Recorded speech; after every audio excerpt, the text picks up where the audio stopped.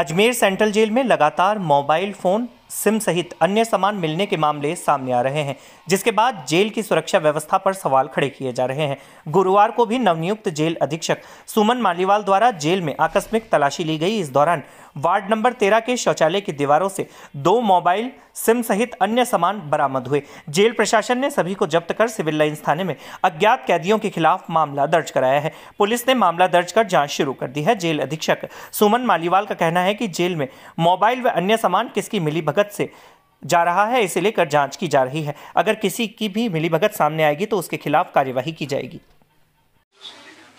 दिनांक दो बारह दो हज़ार बीस को श्री जगत सिंह स्नोप जगराम जाति गुजर निवासी उनतीस साल, हाल जेल प्रेरी नंबर तीस सतहत्तर, केंद्रीय कारागृह अजमेर ने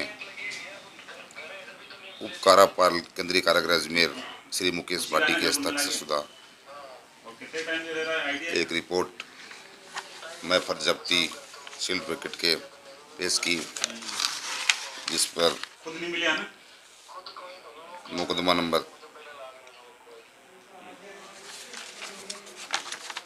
तीन सौ सड़सठ ओब्लिक दो हज़ार इक्कीस धारा बयालीस कारागृह अधिनियम में दर्ज किया गया।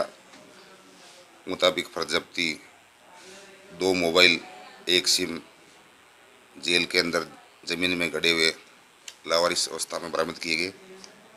अनुसंधान Shri Arjun ji head constable number zero आठ के जिम्मे किया गया अनुसंधान जारी किन धाराओं में मुकदमा दर्ज है? बयालीस कारागृह अधिनियम आपका नाम? जितेंद्र सिंह हेड कांस्टेबल सोलह साठ